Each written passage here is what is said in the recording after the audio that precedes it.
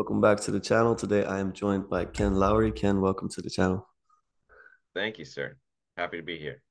Thank you. I'm uh, I'm very excited to have this because I told Ken offline that I think he's a great listener, and I love to listen myself. And the thing is about great listeners is that they're usually really interesting when they do speak. So I'd like to give you a lot of opportunity to do that today. And um, I'll start where I start usually with people that I interview for the first time, and that is that I'd like to know how you grew up. And of course, this is a very broad question. My fiance was like, you need to narrow that thing down, you know, you need to be more specific with that. So if there are specific moments that marked you, that made you who you are today, anything that you'll be willing to share, I'm very interested in hearing. Mm, yeah. Well, thank you. I mean, first of all, I'm really happy to to be here and talk to you. Um, I yeah, I really appreciated sort of, especially like this this posture of listening, like you said. I think you and I maybe share a lot of that. Like we we we're both very curious and really interested to just like draw out more and, and like really understand.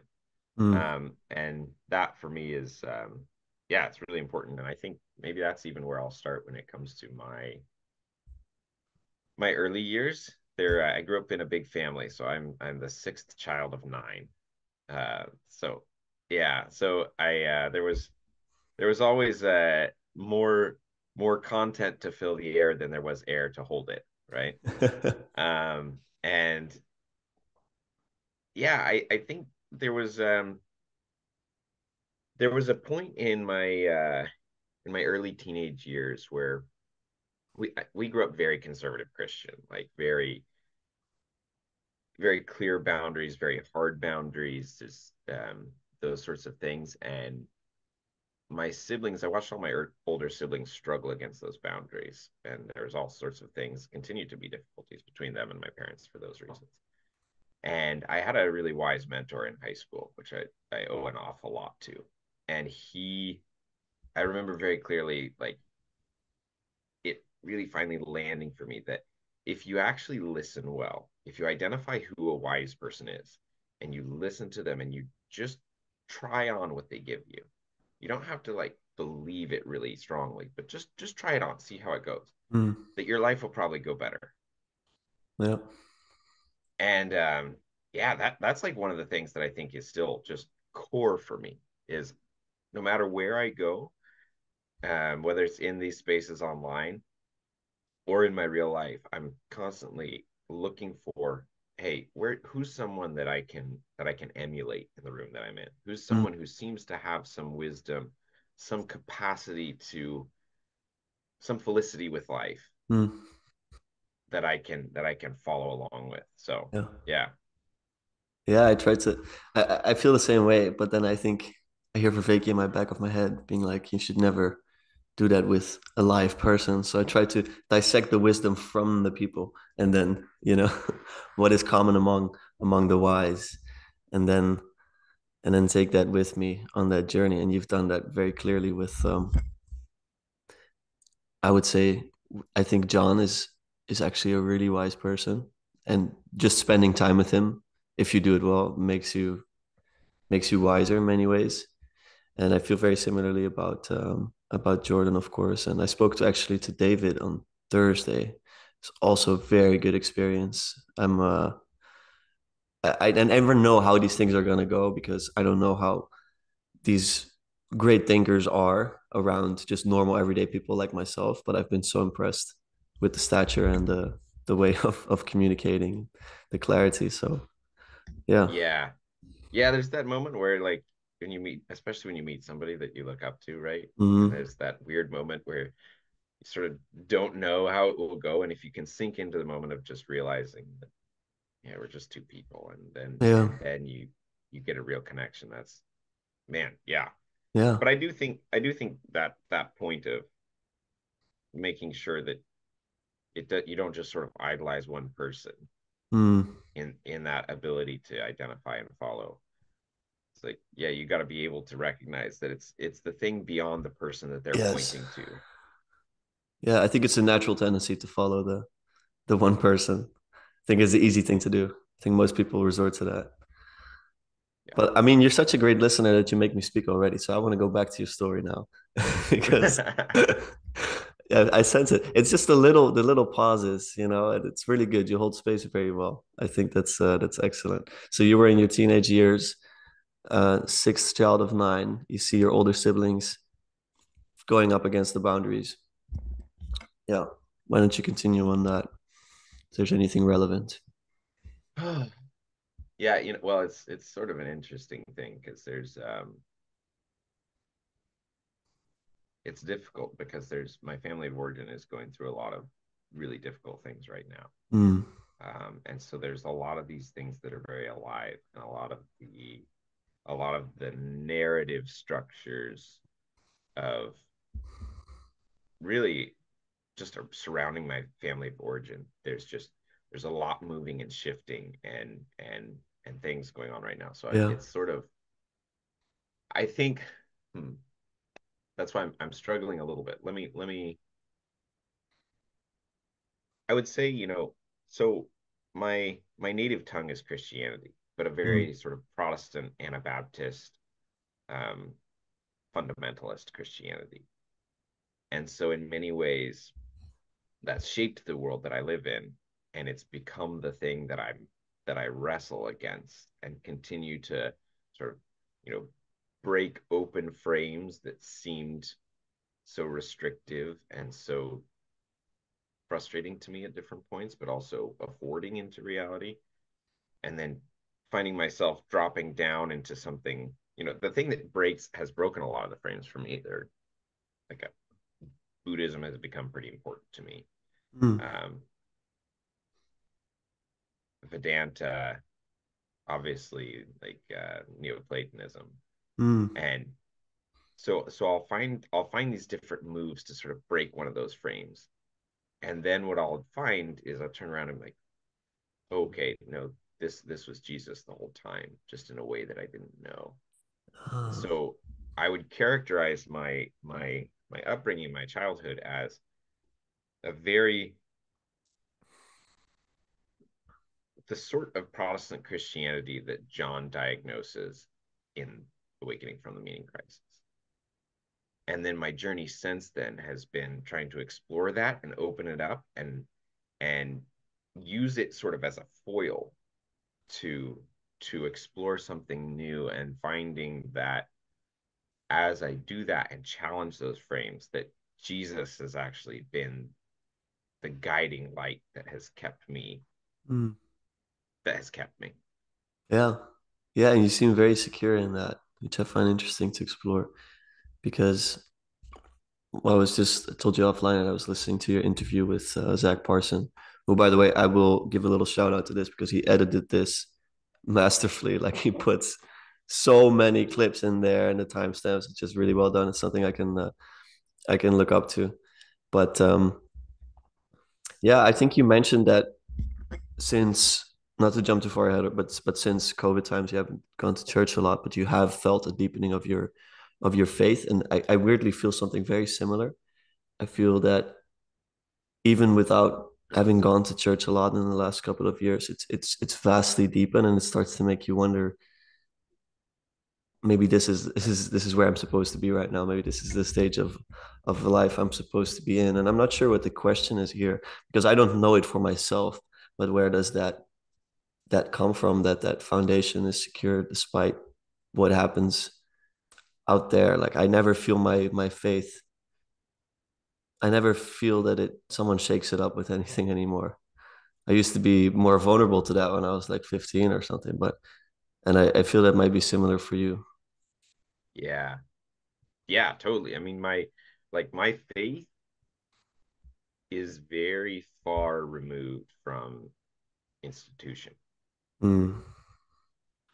It's it's also it's sort of hmm, this is interesting. Like it's not exactly like it's um or at least I hope it's not just individualistic either though. It's it's sort of beyond both in some sense because it's deeply I would say my faith in Jesus, especially, it's deeply mystical in one sense because it's grounded in a lot of personal experience that many, a large amount of which is mystical, a large amount of which is just really, really practical. Like for me anymore, when there's when there's suffering in my life, and as I alluded to with my family of origin, there's been a lot of suffering recently.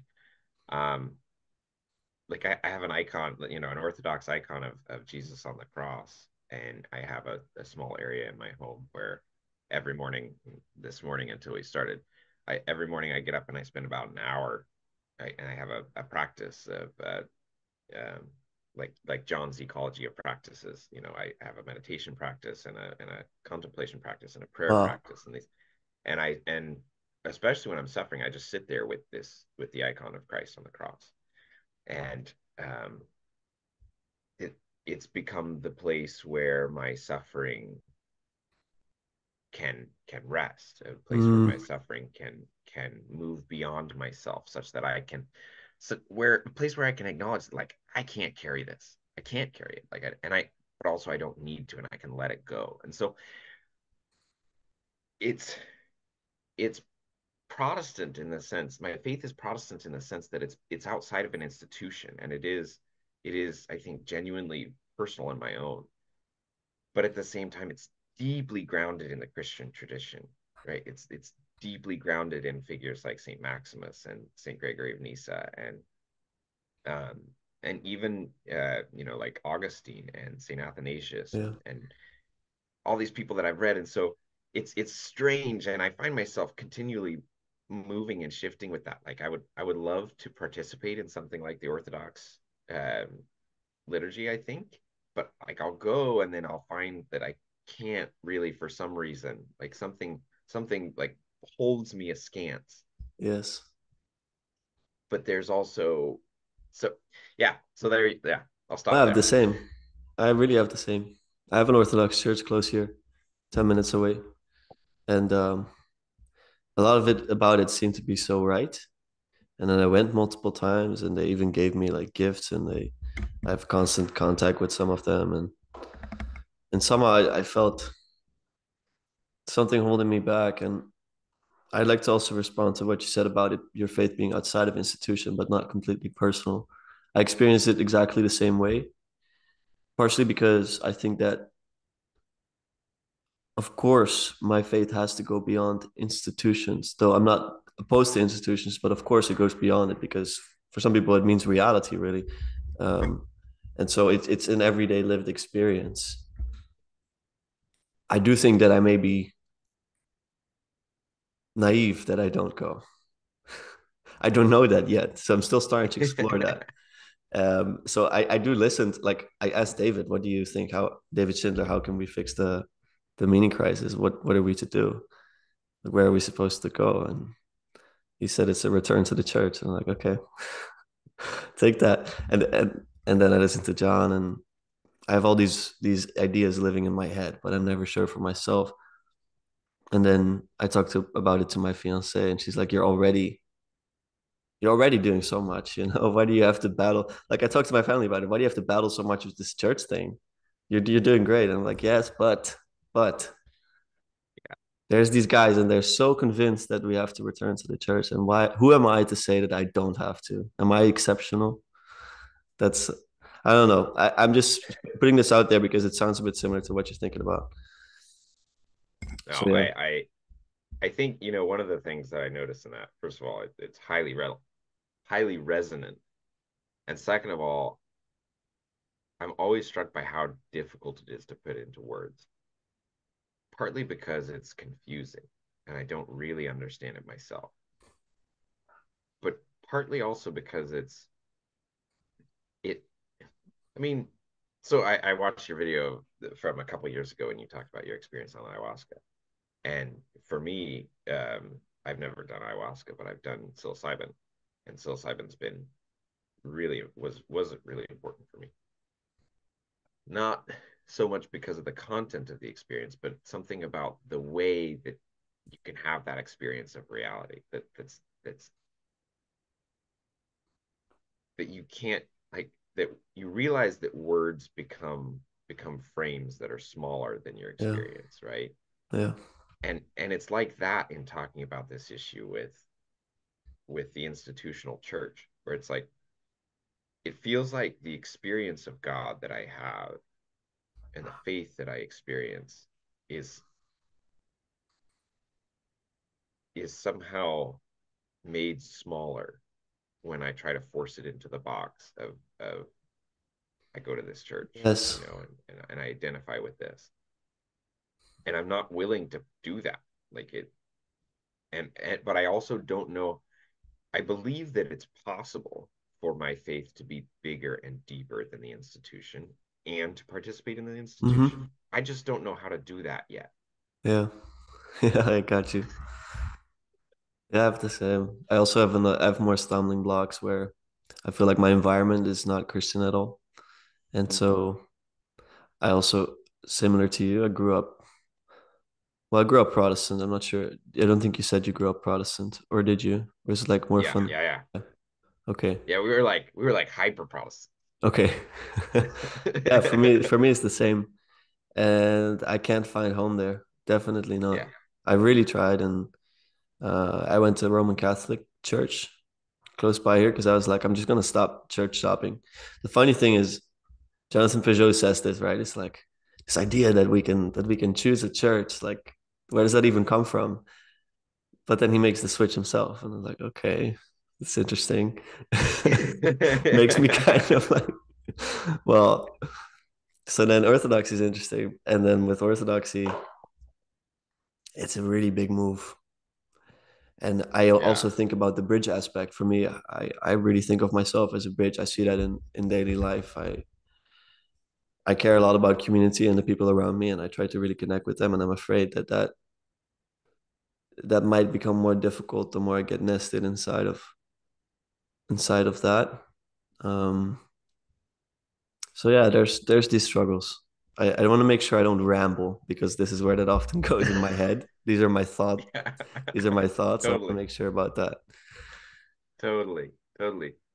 I will um, take us back a bit to your story if there's anything else that it seems relevant about you for this conversation, particularly if something pops out in your mind that you're willing to share as well.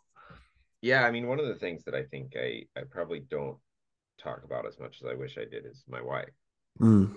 My wife, who I met in in college, we met like first week of college, wow. and then we ended up we were just friends for a couple of years. We dated other people actually, and uh, and then it was our junior year. We studied we studied abroad together down in New Zealand, mm. and that's where we started dating. We ended up getting married shortly after college, and it's not only not only am I not who I am without my wife, like I don't I don't know how to separate the um to whatever degree I I have any like uh, ability to show up in conversations or um, have philosophical import that's valuable like I I I she's there in all of it right mm. and so so my wife is my wife is someone who is just um, I I couldn't say I couldn't put into words highly how highly I think of her and how much um, how important she is um, in the whole journey for me. That is absolutely wonderful. I feel the same way. I remember you tweeting something like um, that. There's nothing. I'm not sure if you said beautiful, but then uh, dialogos with your with your wife, yeah, and yeah. it really resonated with me. For me, I feel exactly the same way. Yeah, totally. She's always my my dream guest for the podcast. yeah, yeah, yeah. I've tried to, I've I've done actually a couple episodes with my wife and um they, they were good, but I I of course it's again it's sort of like trying to take a whole thing and fit it into a box and it's just yeah. hard to do and yeah. Yeah, I think it's just a lived experience every day. I feel that for us it's just going in and out of that all the time. And it's difficult to try to, like you say, put it into something. Yeah. Yeah. Because yeah, it happens organically. Like, yeah. Yeah, but I always like I want her to have more credit than than than me in some sense for for the good parts. Whatever like whenever people say good things about me, I'm like, okay, but like you should you should remember that a lot of it's due to my wife. yeah, I feel the same way.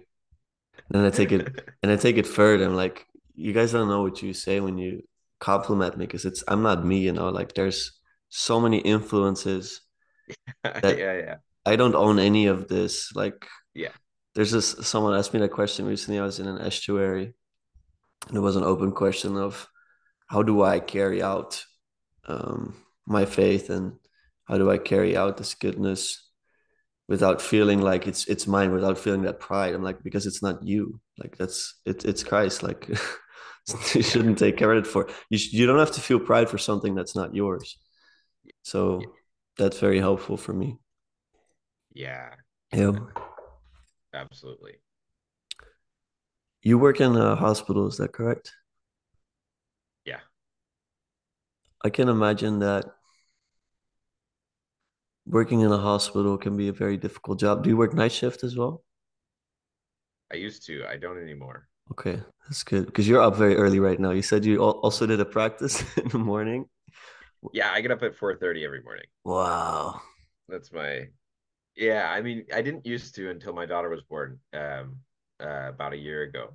But when after my daughter was born, I I realized pretty quickly that if I wanted to maintain ritual and um and routine in my life, like that that was going to be my time that I could that I could carve out for myself that wasn't taking away from time that I could be with my family. So That's wonderful. Do uh, what time? is. Huh? 4 4:30 it is. Yeah, for 30 it is for sure. Do you know uh, Jocko Willink by chance? Yeah.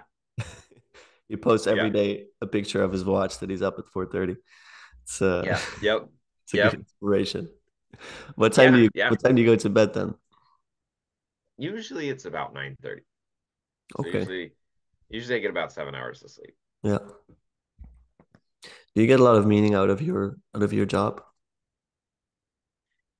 Yeah, yeah. So you brought up my job. So I work in um so I work in cardiology. Um my certification is a physician assistant, which if um like it it is present in Europe, I think to some degree, but it's Okay. sort of like uh it's you do an abbreviated version of medical school, um, and then you practice sort of virtually the same as a doctor, but you'll have a lower level of a slightly lower level of responsibility. I still prescribe medicines. I still, um, you know, so for me, it depends a lot on what your relationship is with your supervising physicians, or here in Oregon, we have what's called collaborative practice agreements because there's there's some you know there's always sort of jockeying for power between physicians and physicians assistants. There's there's some weird things happen there. I, I I sort of stay out of that, but for all intents and purposes, I operate pretty much as a doctor, um, especially in my practice with uh,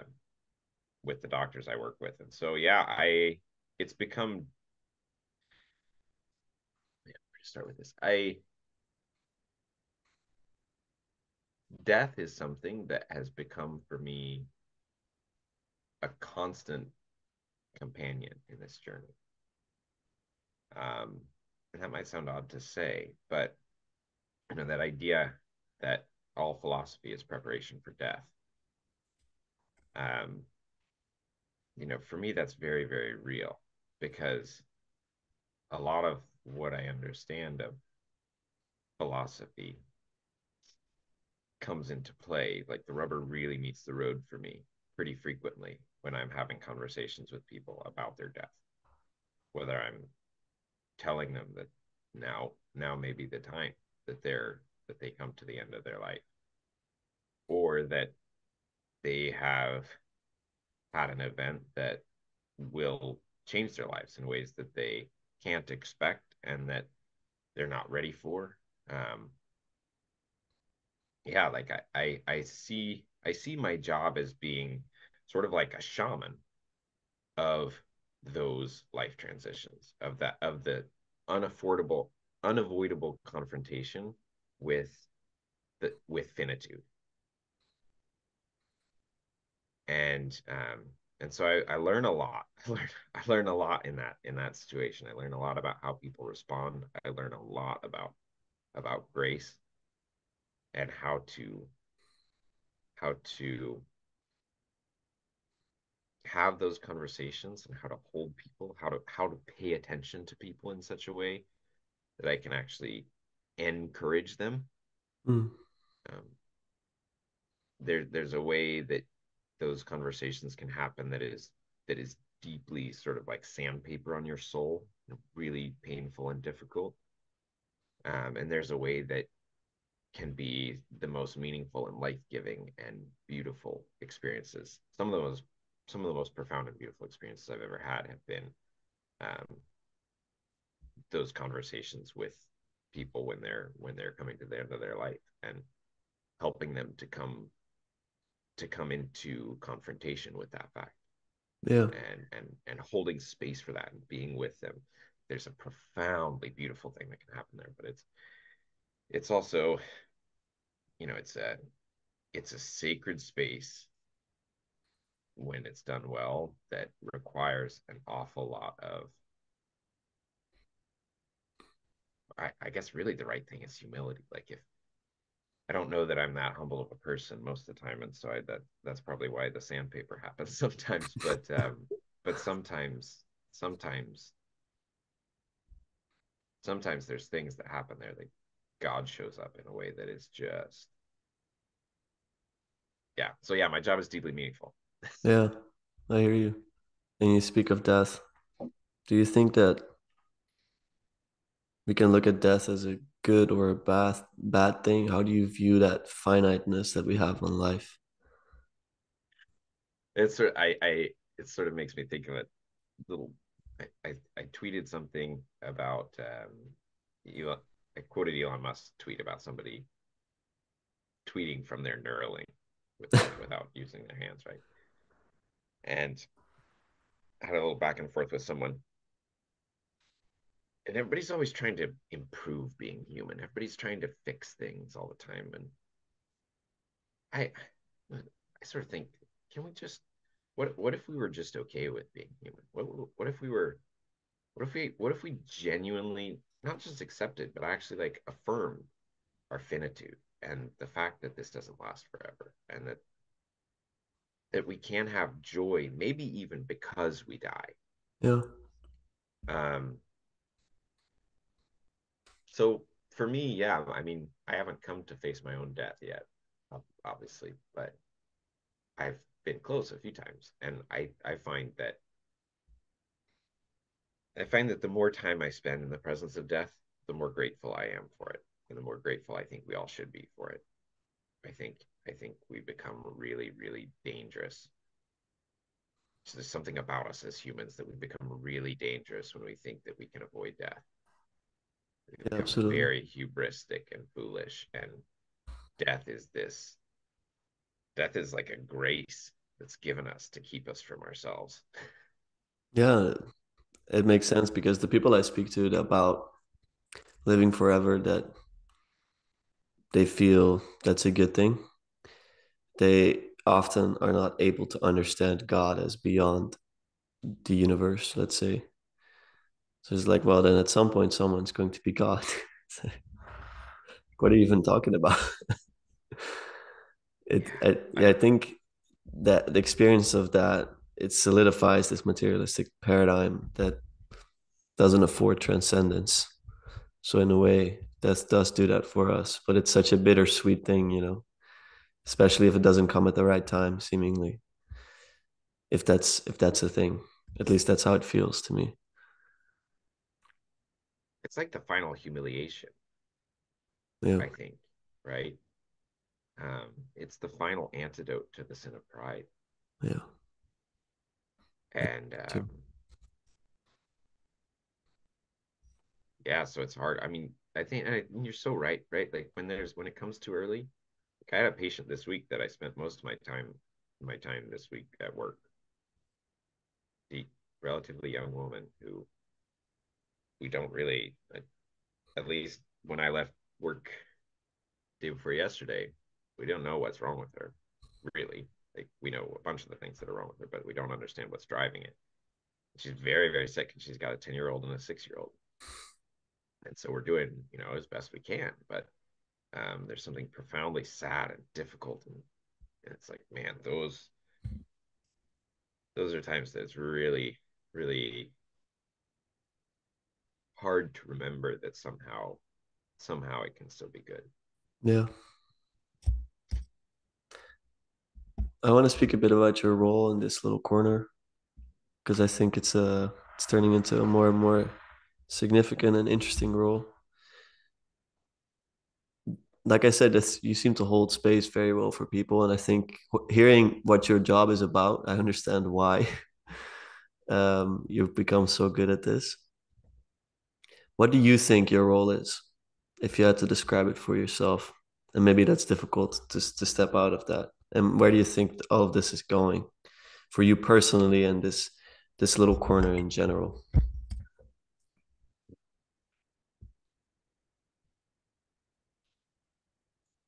That's a good question. I, I, I feel like my first reaction is, I don't know.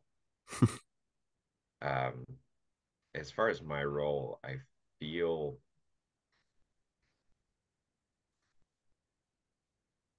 mostly I feel so honored to be even a part of these conversations. Uh, that that I find that whatever is fostered by my my participation in them, it's not planned, it's not formulated. I don't, you know what I mean? It's it it's not. I don't know. I just show up and I hope to learn things, mm. and and so, you know, I've I have struggled with that some, like especially and I'm sure you're you're familiar with this, right? Like you, you get some people who are excited about what you're doing, you get some some more views, some more you can talk to all of a sudden you can talk to people who you couldn't dream of having talked to before. Mm-hmm. and then like you know at, at one point last summer i think i got sort of inflated with that. Partly that partly some other things that were going on. And then that was like no okay this doesn't this is not this does not feel good and then i had a big crash after that where i just wanted to abandon the whole thing entirely and then um and now it's something much more I don't, I don't know what it is. I just sort of leave it. I sort of leave it. And I just, when there's something that comes to me, you know, when I, when I'm excited about something and there's an idea that relates to a, a person that I feel like, oh, that would be, that would be a great person to talk to about this. This would be exciting to explore with them. Then I just reach out to them and do, and that's how the things, um, how my conversations generally show up or somebody reaches out to me like you did. And I'm yeah. happy to talk to anyone. Um, but also I don't know where this whole thing is going. I, I think um, the thing that concerns me is when I hear people trying to trying to direct it on purpose. Yes. You know, like I think I think we're all responding to something that is I think John has talked about it as a um,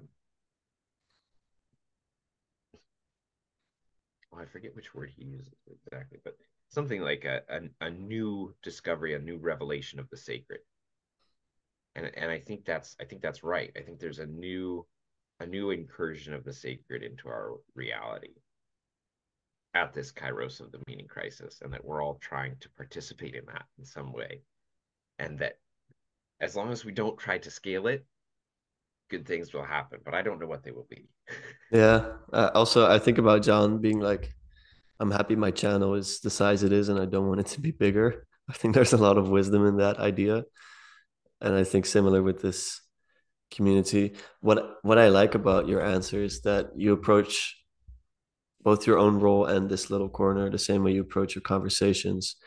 You you let you let the logos lead it, let's say. And I think there's a danger to directing it because then you take the place of God. It's pretty pretty dangerous game to play, let's say. Totally. That's good. And and and there's ways in which I I don't know I, I sometimes feel insecure about that because I probably don't plan things as much as maybe I should. Like there's there's a there's a tonos to be held there, right? Like you should you should plan things, but I, so I've gotten a little bit better at that. You know, actually writing down some questions because early on I I would have like one thing to talk about and I wouldn't plan anything from there, and sometimes that got me in a little bit of trouble, especially um especially in a couple conversations where I didn't find myself. You know, sometimes you can just drop into it with people. Yeah and other times there's more of a of a barrier and you have to be a little more i don't know yeah it you, you really can't predict it usually i really have yeah, the same thing so, sometimes i even make questions and i don't use them at all because it just you know it just flows and other times uh, you better be prepared yeah exactly mm. exactly and those are the ones that tend to be the the best and definitely the most enjoyable are when you just let the logos lead. Yeah, Let the logos lead us, indeed. I'm gonna do my brother some justice. My brother's name is Aaron, by the way. He told me your your brother's name is Aaron too. That's right. That's right. We, got another parallel there. Older older brother. Yeah. Nice. uh, is your brother older as well? Mm-hmm. Okay, good. Yeah. yeah. yeah, we're a family of six actually, so that's also kind of like, yeah. that's awesome. That's yeah. Awesome. Uh, it's a bit of a longer question, so if you have the patience, uh, totally good. Because I so I FaceTimed him an hour ago, hour and a half. Like I'm talking to Ken Lowry. Do you have any questions? And uh, he just sends me this like essay. He's he's a very um diligent guy, I would say, and I really like his questions. I'll start with a shorter one. Actually, I thought it was quite poetic. Would you say that while you are climbing Mount Sophia, you are carrying a cross? And what awaits us at the summit of Mount Sophia? Oh, that's a good question. Oh, um, just a bit of background. Ken's channel is called Climbing Mount Sophia, so you know, so people know where the question comes from. Yeah. Yeah. I experience myself as always carrying a cross. Um, I find that in moments that I would tend, I'm really hesitant about the the the the peak of Mount Sophia because every time I feel like I've gotten there, um, it you know it feels like you sort of brush over the top and then you're sucked back out of it. Yeah, yeah, yeah. Sort of. Um, and you can never, of course, characterize what the top is exactly, but you can certainly see it. Um, but I find that there are the, the times where it feels like the peak comes into view are times where the relation to the cross shifts. And it's no longer exactly me carrying it. And in some ways it's it's carrying me. Um with all that is implied in that. Mm. The cross carries you. Yeah, I think that's I think that's I there's a lot behind that. And it's poetic because I think it has to be. But yeah. Do you want to leave that implicit or you want to expand on it? Because sometimes, like you say, with um, the experiences you have. Maybe you don't want to box them in somewhere. So if you want to leave that implicit, that's fair. But I'm very interested.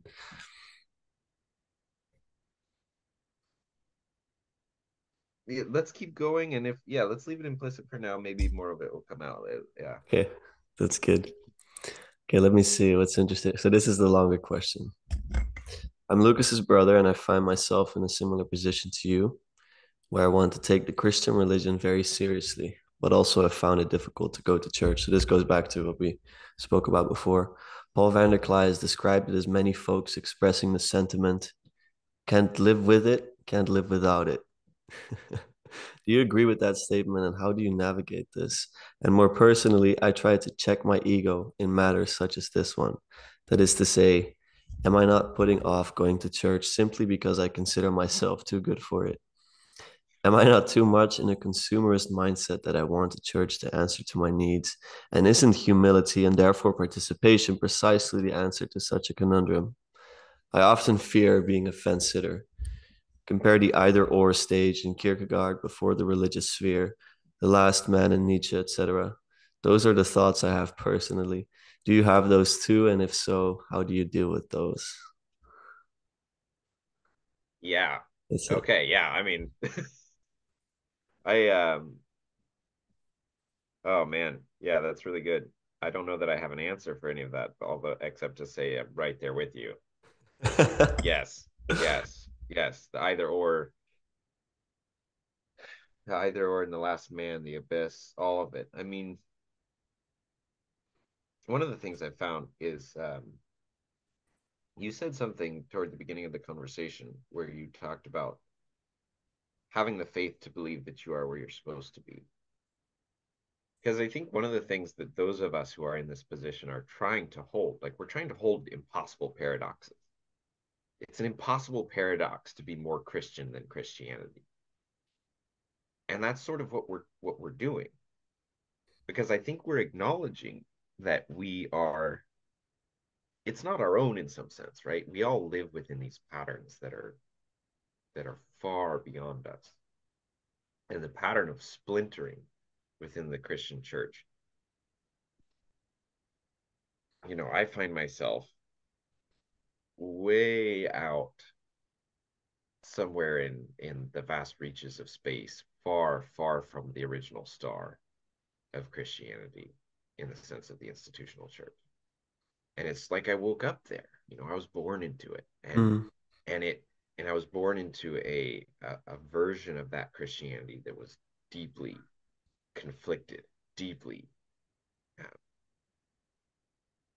hubristic. I mean, you know, I I went through, I think, three church splits uh, as as a child and and teenager, and you know that that's every time that happened, it was some version of, well, we know better what God wants, and so we're going to start our own church now.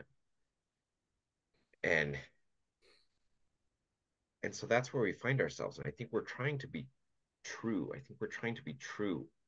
We're trying to be faithful to something, which is whatever it is that caused all those splinters, whatever it is that whatever it is about being in an institution and and having an institution try to point us to God and the propensity of institutions to become idols instead of symbols. And that like I think we're trying to be faithful to that while still like while still being humble enough to acknowledge that we actually don't know right that like the heart of that question is is a deep humility. Yeah. If I'm, if I'm hearing your brother right. Mm. it's, it's a deep humility of like man there's something really here. And it's really good. It's really deep. And like jesus is jesus right? Like jesus the christ. And there is something about this church but there's also the, church held held sway in the world that we live in we live in a world that at one point the church owned in some sense and now now it's fragmented all over the place and so in some sense that's I don't whether right or wrong. It's what comes up for me in response to some of those answers of like, we'll go to church. It's like I see what you're saying, and I would like to, but also there there's some reason that we all did go to church, and then we ended up here. And so, so I think it's it's that for me where I land, where I land in my daily life is to is to have the faith to find the faith really not as a function of uh, hold on what is it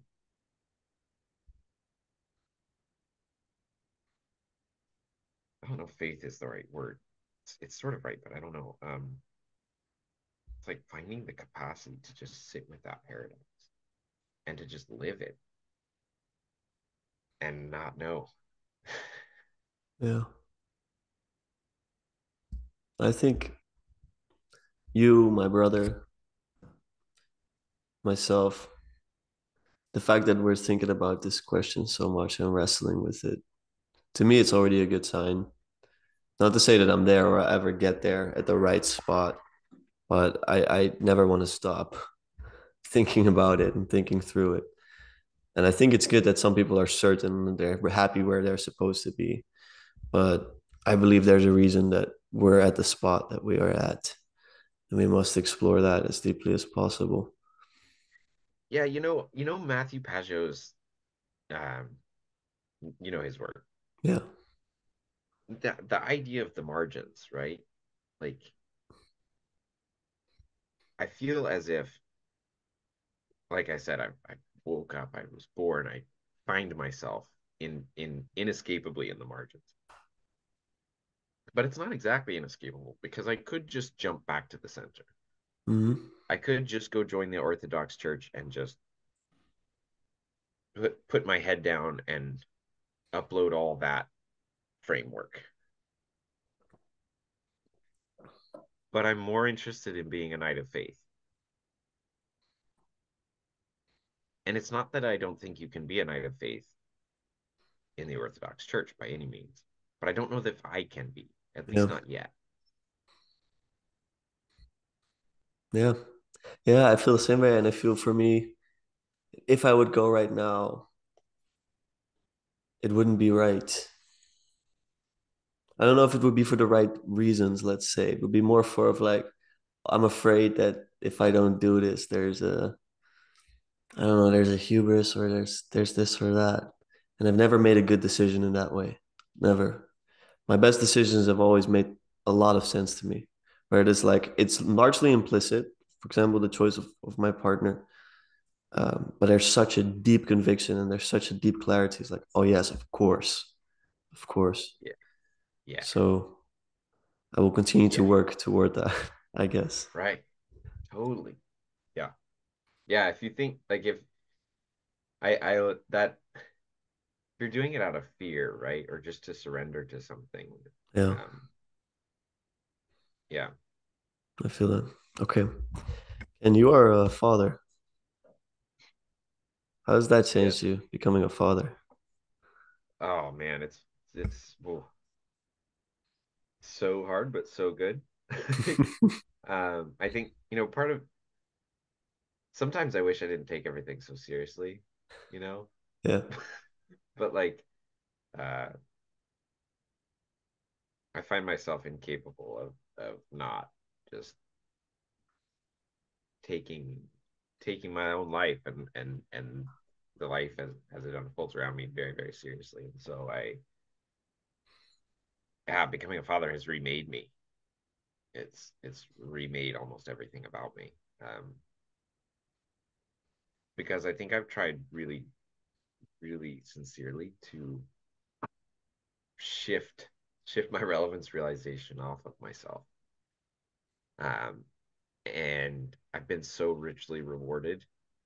Like, my daughter is just wonderful, like just incredible. And also it's become such a wonderful anchor when when I'm suffering or when it really feels like uh when it really feels like climbing Mount Sophia is a is carrying a cross.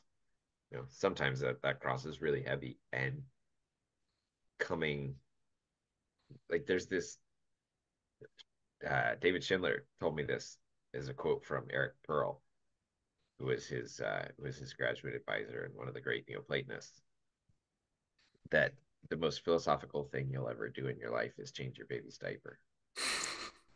And um, I love that. And I think about it all the time. Like, every time I change I change my daughter's diaper, I I think about that and I and I think about, you know, it's it's become it's become a ritual for me of seeing my daughter as Christ and and seeing this act of of serving her and, and changing her diaper and you know wiping the poop off, right? Like seeing that as being um as being a, a symbol really like a genuine symbol um that it's there's something so practical and so mundane and so real like it like you can't deny the reality of that and Mhm. so whenever everything else is going on and i'm wrestling with christianity and holding this giant paradox of being a christian um i can change your diaper That's great. It sounds like a grounding practice as well.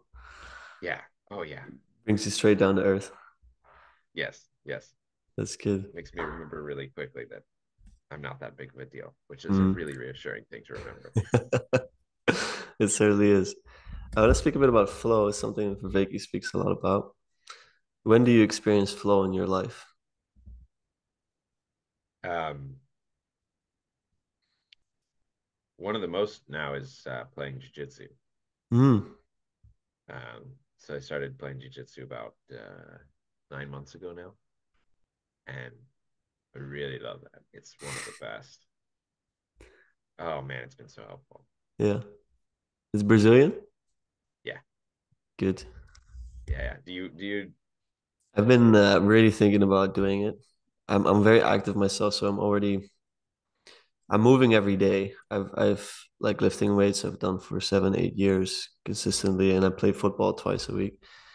Um, I, I really don't want to get injured by things. That's the only thing I'm thinking about with jujitsu because there is a there's definitely a danger there, but I'm extremely attracted by it for the physical and the mental. uh, Every aspect of it basically speaks to me. Um, of my friends are interested in it, so it's definitely calling me. But um, but I'm not quite there yet. I think it's similar with the church. I think it comes at the right time. It will come to me at the right time when I need it most. Totally? What has it taught you? Yeah. Well, much like yourself, I mean, I I I lifted.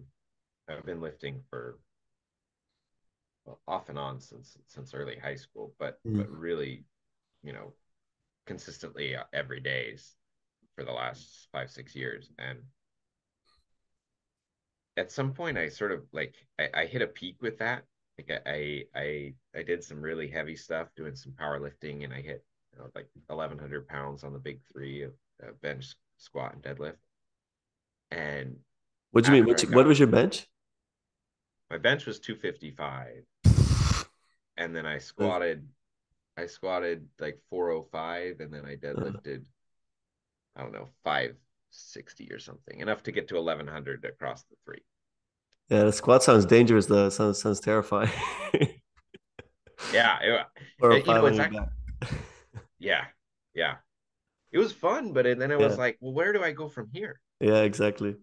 you know um and you know my back started hurting and so so I needed to find something new but jujitsu what are the what taught me so much. I mean, one of the big things is the sense of needing to maintain contact. Like there's there's a mapping thing in jujitsu. The sort of the sort of niche construction idea that John talks about in jujitsu, that's a real lived experience. You have to like you have to really be very hypersensitive to the space being made available, being afforded to you by your opponent. And then you have to have within within yourself the capacity to fit yourself to that space both in terms of defensively and offensively and really dynamically evolve constantly with it. Yeah, and so doing that for an hour you know it completely takes over your your experience. Yeah, you can't think about anything else while you're doing it or you will get choked. Like there's a there's a very clear feedback. It's very real. It's very embodied. Um but i find it transfers it transfers to everything in my life. That's amazing. Does it does it involve play, you think? yeah Definitely, yeah. Yeah, oh very much. Yeah. Yeah. Because I can imagine if you're in, in a situation like that, because it's so intense and you're like, well, basically fighting someone. I've never done it myself. I've never been in a, in a real fight. Of, of are you really in like a fight or flight type of thing, or you're able to zoom out a little bit and try to, yeah, I guess flow, or maybe they go hand in hand. I'm actually not sure. I'm always interested in that, especially like professional fighters, you know, because they're they're about to be knocked out potentially. Like, yeah yeah i mean i'm definitely not on that level you know i'm doing it at a at a at a, you know a, a local gym i've mm, got a I'm, I'm fortunate to be at a place with really really the main guy who coaches most of the time when I'm there is just a fantastic. He's a great coach and he's also a yeah, fantastic person. He's a professional fighter and and he's he's done a bunch of professional fights. So so he can give me a lot of insight from that side. But in my in my experience, you know, mostly you're you're with guys who, you know, you talk to them before you start and then you spend a lot of the class, you know, drilling specific moves. So you're all sort of learning together and then at the end of class you know generally you're you'll do one two maybe three five minute rolls where you're actually you know you're really going probably not full bore, but pretty close. I mean, you're you're you're really trying to to beat each other. But but so there's a sense of that idea that you're you're you're cooperating more than you're competing, like your competition yeah. is on top of a deeper cooperation is very real for me. Yeah. I, I don't know that I've I haven't been in a in a in a real fight. I don't know if I've ever been in a real fight, but you know, not since not since high school when I when I was really, you know, like testosterone hate me yes wanting to hurt the other person. Yeah, I recognize that. Okay. what is your favorite?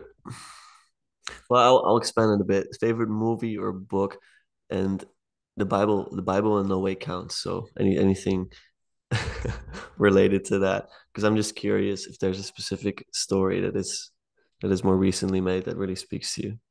Oh yeah. Well, I mean, the first thing that comes up is there's a book called Mount Analog by Rene Daumal, and okay. that's sort of that's that was one of the big inspirations for climbing Mount Sophia. Mm. Um, and it's it's I part of why I bring that up is because it's lesser known. Part of it is I'll it it is a story, and I think that's a little bit more of, of your question is like yeah. a story. Yeah. Um, but also partly because I don't understand it, and it's sort of a strange book because the author the author died.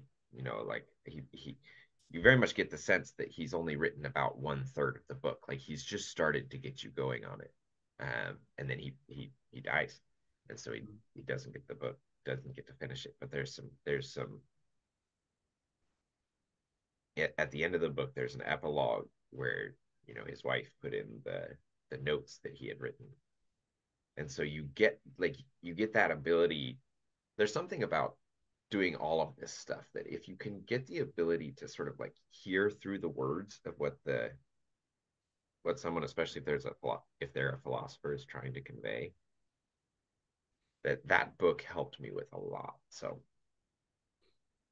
Okay. That's one and there's another yeah, yeah, and then there's another one called uh, and there was light uh, yeah.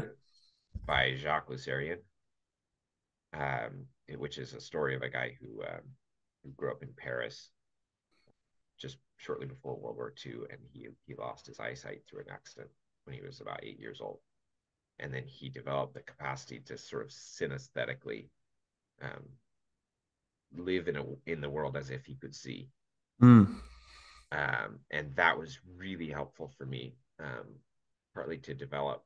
Like for me, my the way I think is very sort of synesthetic. I Ideas coalesce into sort of shapes and patterns and visuals and you know there's all that stuff happening. And so those two books were probably some of the most important at developing that.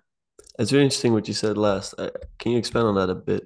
Because the, the analogy is with the man who lost his eyesight and he starts to kind of mimic eyesight by combining his other senses i guess. That is what you're saying? How does that apply to, to your understanding of ideas and, and patterns trying to i'm trying to grasp it. Well it's sort of what i mean with the climbing mount sophia. Like for me mount sophia and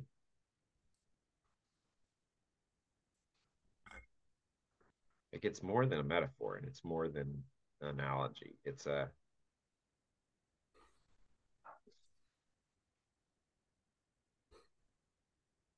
it's easier to explain to people if they understand the psychedelic space Mm-hmm. You know, because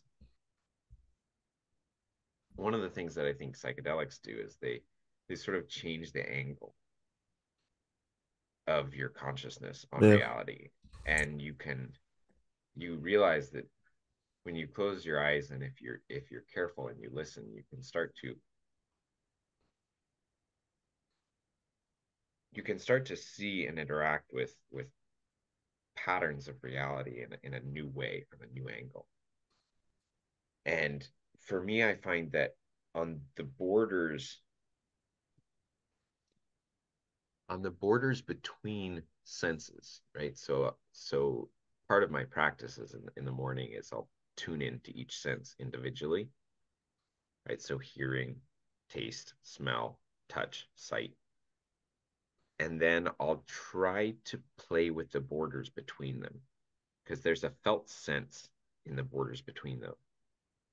And there's a way that you can overlay ideas onto that, right? So have you done the the dialectic into dialogos? No. With John yet? I highly recommend um highly recommend that because one of the things that that that has helped me with a lot is to you know in in that that's a practice of pursuing virtue right? So you you you take a virtue and you're you're trying to to learn from it and about it. And one of the things that you do is let's say you take courage. You try to get a taste of what courage is. You try to get the smell of what courage is. You try to get the the sound of what you know and so you and so i've done that now with every virtue that i can think of and done it in the dialectic practice and do it by myself. And so i've started to get that sensibility of no there is there is there is a felt sense of each of these ideas. There's a felt sense of what it's what is it like um what is it like to well to be courageous or or to any of those things. And like yeah. so for me those things come on board and then they they sort of coalesce into a into um sometimes it's a visual sometimes it's more of like a sound but i can sort of interact with them in a in a sort of it's an imaginal space. Um but they all can they all lay themselves out for me and they all coalesce into a into a greater structure. And that's sort of what mount sophia is oh that's very well explained i like it a lot i like the image that creates in my head would you then say that the blind man who stops who, who can't see anymore in terms of ideas and, and using it and applying it to your example are we ever able to see with our eyes mm. Do you understand what I'm asking? I don't know if I do. Say it another way. Okay, so the the book that you mentioned, it's about a yeah. man who lost his eyesight, and then he has to say synesthetically see again. Is there any way for us to not see synesthetically, but to actually see the way he used to see with his eyes? In other words, perhaps uh, being human beings and the human experience is losing a deeper understanding and and then working with what we have to get closer to well you mentioned the virtues but deeper reality itself. Must we must we enter upon death to to see again in that sense? What what do you think about that?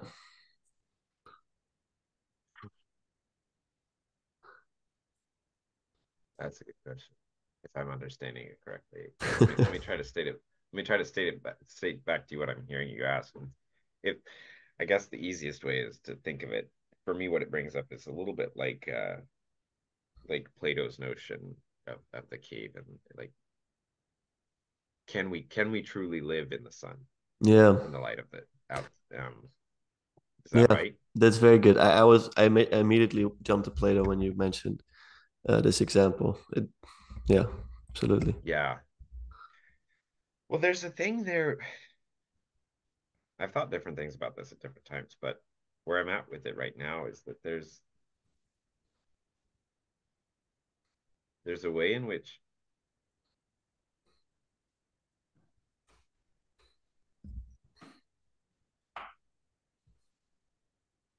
if we if we just try to do that we lose all the like if we just try to do the like see and live in the the essence of all the things we lose the particularity mm. you know and there's a way but there is a way to it, it's like it's like a, it's like seeing at the right angle there's a way that if you can see see things at the right angle they always take you right back to the essence yeah and the appearance, the particular situation that you're in. And I think this is the notion of the symbol, right? Mm-hmm. And and this is goes back to what I was talking about with my with changing my daughter's diaper, right? Yeah. Like that every time I get to change her her diaper, it's a different thing. Right? Yeah. It's a different moment, it's a different experience. She's different. Sometimes like she she she's doing this thing right now. She's 17 months old, and she's doing this thing where like yeah, she's gotten excited about uh going pee on the potty. So so she'll tell us when she needs to go, and we'll take her in there. And she's usually already gone in her diaper, but we we praise her anyway. And hey, good job remembering, noticing that you needed to pee. And, and then you know she'll go and she'll grab it and she'll grab a new diaper for herself out of her drawer. She'll bring it to us and she'll lay down on the floor and she'll say, "Good girl, good girl," because we always tell her she's a good girl, which she does. And um, and it's like, man, sometimes it's like that, right? And it's so beautiful, and she's just she wants to help, she's participating, and sometimes she's just fighting you, she's screaming, whatever. Each one of those is different, but when I I find that when I move myself, when I move myself to the proper angle, I can participate the humility, the service, the like all the virtues that are entailed in doing that simple act. And it can take me through it can take me into the way in which it's an opportunity to to truly bring good into the world mm. you know to truly shine the light of the good um, and that i can participate that essence so i guess my answer to your question is yes i do think it's possible but i think it's possible insofar as we genuinely truly and deeply find joy in the most mundane, the suffering, the simple, um, the average things in life. I agree with you. I do. The first time I heard that idea of you should go back into the cave as well, it's like, it's like, oh. And then I started to practice it. And I'm like, oh, oh, I get it. That makes so much sense like I'm a, I'm a human being for a reason, you know. I, I don't want to do the spiritual bypassing. Yeah. And um yeah. Okay. That's a great answer. Yeah. Yeah, you know, and that that that idea there's that I learned this just recently. I started listening to the Lord of Spirits podcast. Mm. Um and that idea that Satan fell because he's envious of humans, not because he's envious of God, is I think a really good one yeah. Can you can you expand a bit? Because I haven't listened to that. Um, well, they're they're making the case that that's what Scripture says is that that it's because Satan's envious of humans that he that he that he falls and that humans have a capacity like what it means to be human is that you are given the opportunity to infinitely move into the character of God and to become infinitely more like God. And that therefore, and that that's precisely why being finite is being fine being finite and and and being mortal why it's such a gift is that you, you actually have the opportunity to explore infinitely.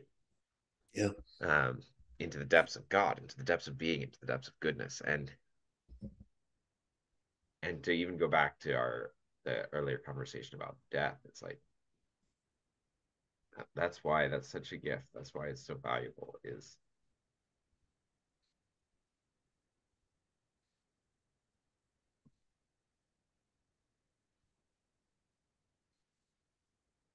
every every time there's something that that seems out of place and mundane and well okay let me let me throw this in here because this was a thought i had last night that there's a trinity to intelligibility right? John talks about intelligibility a lot.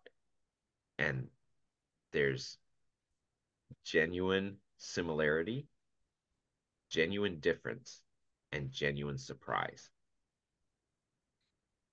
And the genuine surprise part is where like, when we notice incongruent incongruities where we expected to find something it's an opportunity to open to newness to open to moreness and that's that's the gift of being finite i think mm.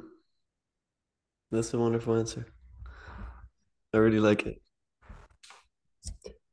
i want to ask a bit about john actually you've spoken to john multiple times and um I think you've started to develop a connection, and you don't actually have to answer this question. If you don't have to, I can edit it out. But I'm always wondering about John, about what is the best path for him. And I want that because to me, he's like, in terms of the people I've spoken to on and offline, he's one of the most present individuals I've ever met when you speak to him. And a lot of people in this little corner are turning toward Christianity or the legacy religions in general. Jordan Hall recently as well, and I know you've spoken to him about this, and John has spoken to him about this. What do you foresee for John, or what would you want for John? And maybe that's not a specific path at all. The way we spoke about the church, maybe that's that's something whole else. But have you been thinking about this and all? And if you have, what are your thoughts about this for John? Uh, yeah, I mean, you know, John's one of the most important figures in my life. Um, I'm really grateful to have, you know, I, I, I don't spend a lot of time with him because he's a very busy person, but to have actually developed a friendship with him though, um, and have some access to to speak with him on and off camera, um, and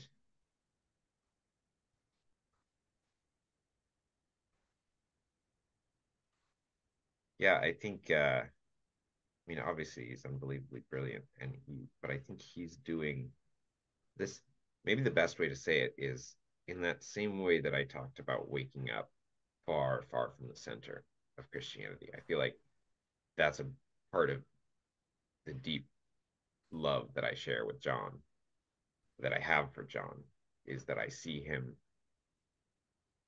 you know, moving the whole world to to process that disconnection, that alienation, that domicile that he found himself in. If you, you know, if you know his personal story, mm-hmm. you know that that his his his upbringing, his origin was a, was was very much like that. Yeah.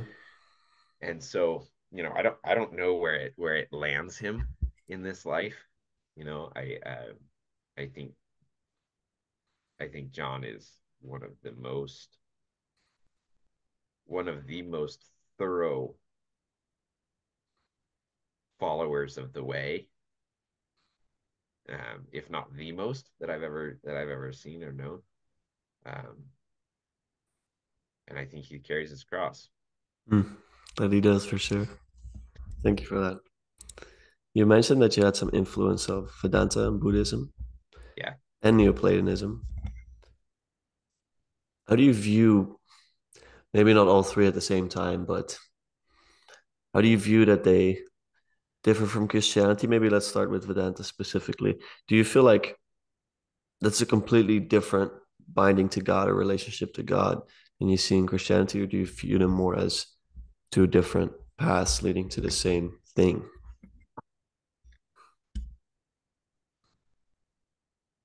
I think of them as um,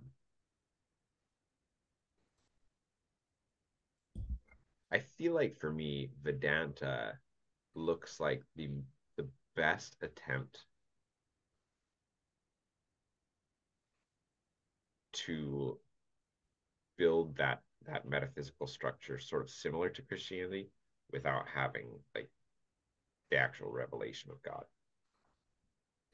Um, in the person of Jesus Christ. And so I don't know. I don't I don't see them as competing but I also don't see them as the same, you know?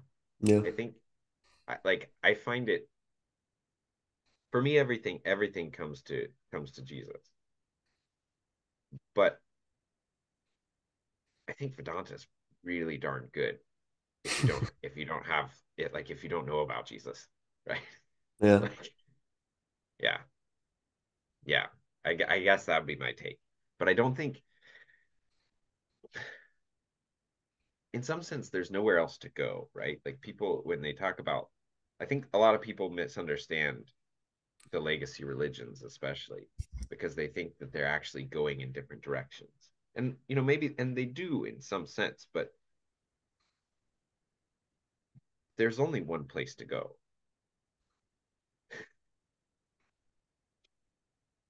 Yeah, from the one the many emerge Yeah, to the one the many will return.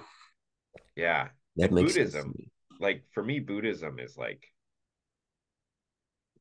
Buddhism has been so tremendously helpful on fine-grained discipline uh, and the phenomenological opening up to to God and reality. You know, I don't see Buddhism and Christianity. I mean, there's strains of Buddhism that that um, have more metaphysics in them and things like that. But I but I, I'm much more when I talk about Buddhism, I'm thinking more in the Zen type tradition. And Thomas Merton, Thomas Merton and his um, his dialogues with D.T. Suzuki, um, and uh, religion and nothingness, hmm like that. That's one of my core, one of the deeper looks at Buddhism that I would have. Um, to me, it doesn't. It not only does it not stand in competition with Christianity, I think it's just talking about something different. It, like I think I think Buddhism is talking about the phenomenology of an individual finite creature and and learning how to actually fit into that properly. And it doesn't really have anything to say about the sorts of things that Christianity is trying to talk about. Yeah. And then Neo Neoplatonism, how do you relate to that? And do you think you can be a Neoplatonist and a Christian at the same time? Yeah, I mean, I, I for me, I don't know. I don't know how you. It would be really hard for me to actually fully to fully separate the two. Ah, Like because for me, you know, like Saint Maximus the Confessor is probably the you know him and and Dionysius are the are the some of the greatest thinkers in Christianity. Their their version, their vision of Christ and Christianity and the and the cosmos is the one that I find compelling, and they're deeply Neoplatonic. And so, of course, you know, I'm sure there's there's there's ways to fully separate them, but for me, they bleed together so much that that um, I think Neoplatonism you know John's idea of the Silk Road and Neoplatonism giving the sort of courtyard for all these things to play together is really important. But I think that Neoplatonism is maybe the something like the best language to to open up the capacity to interact with with all of them and and thus through all of them to see Christ. yeah, that makes sense. I'm very attached to Plato for some for some reason. When I was younger, I was interested in um, Atlantis and um, people pointing to like historical, you know, ideas about Atlantis. And then I was just like, I don't know, 17, 18, reading that passage from Plato. My dad has this crazy library because he's a theologian. And uh, I just read a little bit and I was like, this is this is so brilliant. like, I stopped caring about the little passage and I just went to read to read everything. And uh, it was just such a revelation to me that well, it was just so cool to me that there was someone living that long ago that had this caliber of ideas, thinking about things that a lot of my peers wouldn't even think to think about, and doing it in such a brilliant and thorough way. Open for me, it opened up like a complete road to the ancients where I could really like see what wisdom there was hidden in there. And I was wondering what your relationship is to to Plato and Plato's work when you first came into contact with that, and, and how that how that was for you. So. Oh yeah, no, I totally agree with you. Like there, you know, you you sort of you sort of pick up that that idea that just because we're we're later in time, we're somehow better. Yeah, it's a very natural Western thing to do. I feel like to think about time as linear and to think of us as the most evolved creatures. yeah, yeah, and then I think I had this uh, similar, very similar experience. You realize like, oh, wait a second, like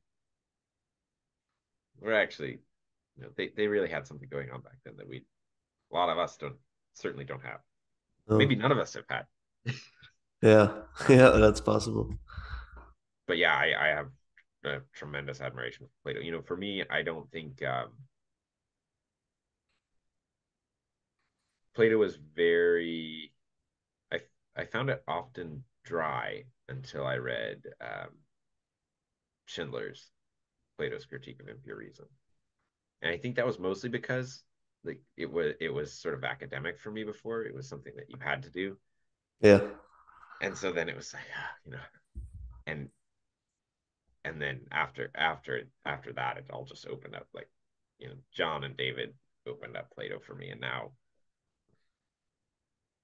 now plato every time i read it it's like well there's so much that i learn every time it's yeah a surprise yeah yeah i must say david's book is excellent um i discussed some of it with him this week and um it did a similar thing for me where I first read the Republic and I was just I, I, was I was reading it in such a literal manner. It's, it's just embarrassing to be honest. And then I read David's book and I was like, wow. I kind of missed the whole thing. But, uh, yeah, sure.